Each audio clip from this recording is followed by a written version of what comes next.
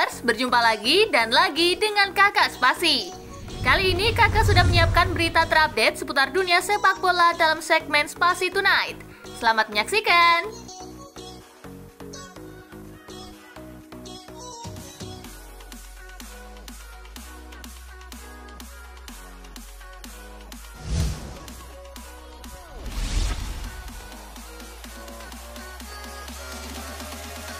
Amerika Serikat versus Uruguay, La Celeste depak Uncle Sam dari Copa America 2024. Uruguay memastikan diri lolos ke perempat final Copa America 2024 sebagai juara grup C usai menundukkan Amerika Serikat 1-0 di laga terakhir babak penyisian lewat gol tunggal Matias Oliveira di menit ke-66.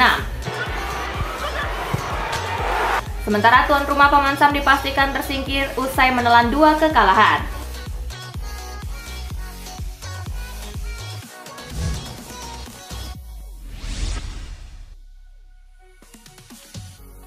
Panama tendang Bolivia. Bermain di Inter Enco Stadium, Panama unggul lebih dulu di menit ke-22 lewat aksi Jose Fallardo. Bolivia menyamakan kedudukan di menit ke-69 lewat aksi Bruno Miranda. Panama mengunci kemenangan lewat gol Eduardo Guerrero di menit ke-79 dan Cesar Yanis di menit ke-90 plus 1. Skor 3-1 untuk kemenangan Panama menghiasi pertandingan. Dengan hasil ini, Panama melaju ke babak delapan besar, sedangkan Bolivia harus pulang dari Copa America.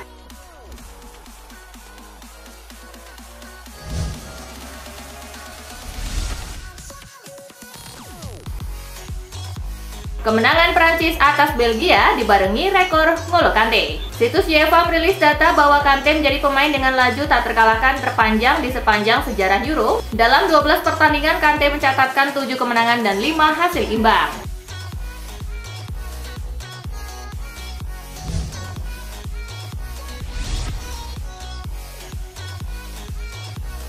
Dan Lukaku pun pulang tanpa mencetak gol. Belgia harus angkat koper dari Euro 2024 usai disingkirkan Prancis di babak 16 besar. Makin pedih bagi Romelu Lukaku karena ia gagal menyumbang gol bagi The Road Wiffle sepanjang turnamen.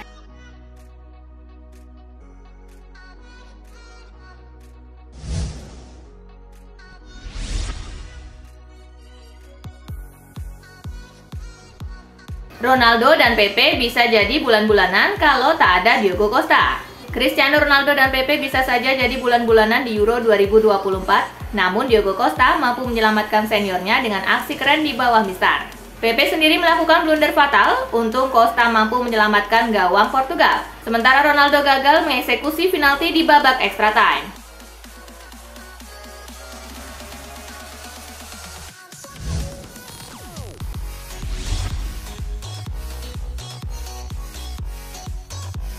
Ibu Ronaldo pun nangis anaknya gagal penalti. Timnas Portugal menyingkirkan timnas Slovenia di Euro 2024. Cristiano Ronaldo sempat gagal penalti, ibunya Maria Dolores sampai dibuat menangis.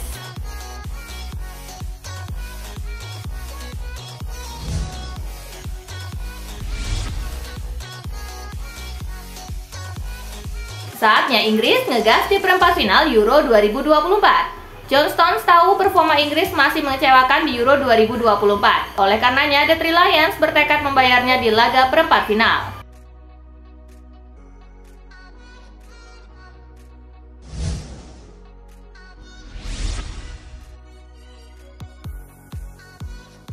UEFA investigasi gestur cabul Bellingham.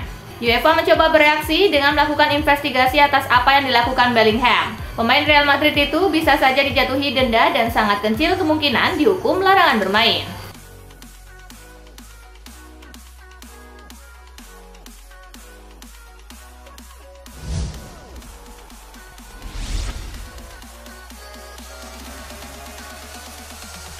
Gol Bellingham itu belati yang menusuk hati.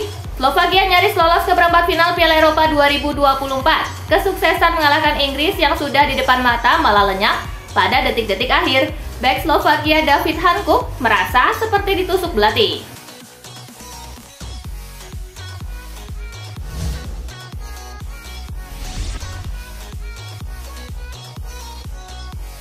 Lawan Jerman, siapa takut? Rodri mengakui Jerman adalah tim yang tangguh, tetapi Spanyol tidak gentar dan siap tampil maksimal demi tiket semifinal Euro 2024.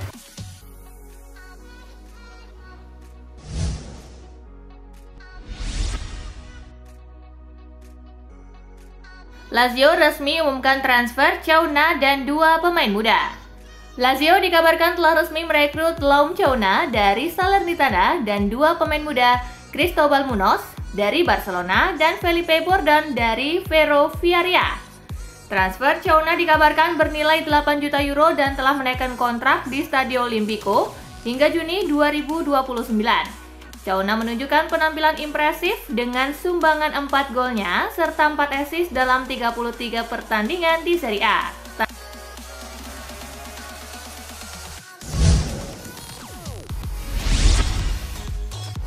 Inter Milan resmi lepas Alexis Sanchez, Juan Cuadrado, dan Davi Klasen. Inter Milan mengumumkan perpisahan dengan sejumlah pemain yang kontraknya telah berakhir, termasuk Alexis Sanchez, Juan Cuadrado, dan Davi Klasen. Keputusan ini diambil oleh juara Serie A tersebut sebagai bagian dari restrukturisasi tim menjelang musim baru. Alexis Sanchez telah berusia 35 tahun, Juan Cuadrado juga berusia 36 tahun, sedangkan Klaassen menandatangani kontrak satu tahun yang tidak diperpanjang oleh klub.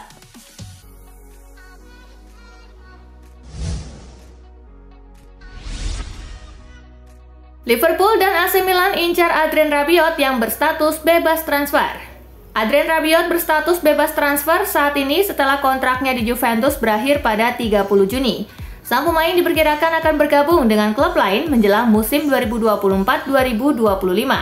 Namun, Calcio Mercato melaporkan bahwa Bianconeri optimistis dapat mempertahankan jasanya.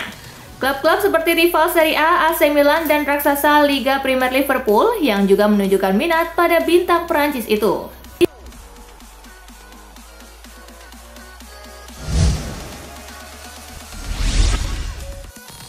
Jude Bellingham dan Declan Rice terhindar dari sanksi, Inggris lega.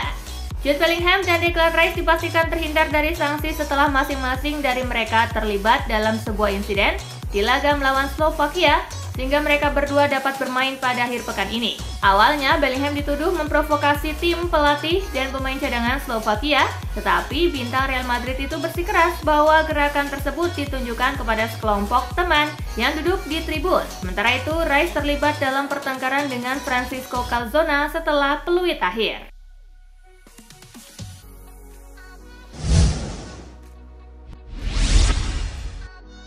Matt Hummels gabung juara Bundesliga Bayer Leverkusen. Menurut Kicker, Leverkusen bisa beralih ke Hummels jika Bayern Munich berhasil dalam upaya mereka untuk merekrut back tengah senilai 40 juta euro Jonathan Tah. Keterampilan dan kepemimpinan sementara itu adalah kualitas yang bisa ditawarkan Hummels dan itu yang membuat pelatih Xabi Alonso tertarik. Tampak jelas bahwa Hummels memiliki opsi untuk ke depannya. Namun back veteran itu juga diperkirakan akan pensiun jika dia tidak menemukan tawaran yang cocok.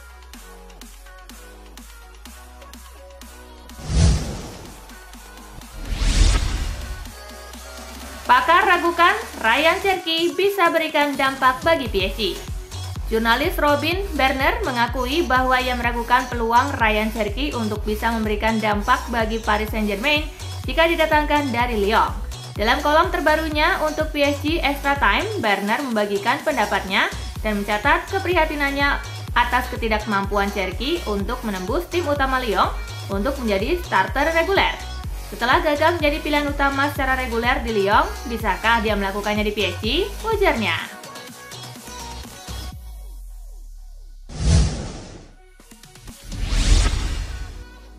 Kandaskan Belgia, Didier Deschamps, buah kesabaran timnas Prancis. Didier Deschamps mengakui kesabaran timnas Prancis dalam membongkar pertahanan timnas Belgia terbayarkan saat tim asuhannya sanggup mengalahkan sang lawan di menit-menit akhir pertandingan. Kami membuat banyak kemajuan dan saya pikir lawan jelas sedikit lebih berhati-hati. Meskipun di atas kertas Belgia adalah tim yang cukup ofensif. Kami cerdas, kami memainkan permainan menunggu dan kami tidak akan jatuh ke dalam perangkap dengan memberi mereka ruang yang mereka cari, kata Desa.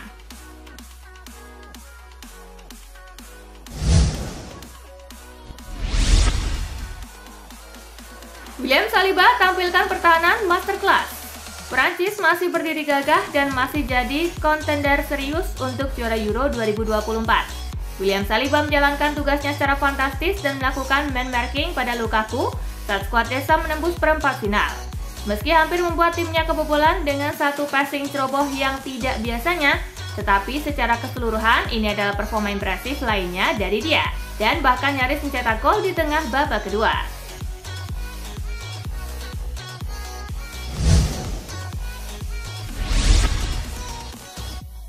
Diogo Costa, pertandingan terbaik dalam karir saya. Pasca pertandingan, Diogo Costa tampak semeringah dengan performanya. Costa mengaku kewalahan setelah ia menyelamatkan ketiga finalti dalam kemenangan adu finalti timnas Portugal melawan Slovenia yang mengamankan tempat mereka di perempat final Euro 2024. Saya pikir ini adalah pertandingan terbaik dalam hidup saya, mungkin permainan di mana saya paling berguna. Saya sangat-sangat senang dan saya juga sangat senang bisa membantu tim, katanya.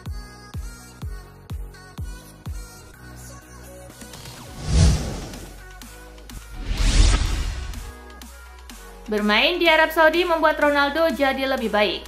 Pelatih asal Portugal Carlos Carvalhal mengklaim jika bergabungnya Cristiano Ronaldo ke Arab Saudi membuat sang pemain jadi sosok yang lebih baik lantaran sang pemain masih memainkan peran besar dan lebih santai. Meski sudah meninggalkan hingar-bingar sepak bola Eropa, CR7 masih mampu tampil prima. Ia mampu mengkoleksi 64 gol dari 70 laga yang dimainkannya di klub. Bahkan musim lalu ia sempat mendulang 50 gol di lintas kompetisi.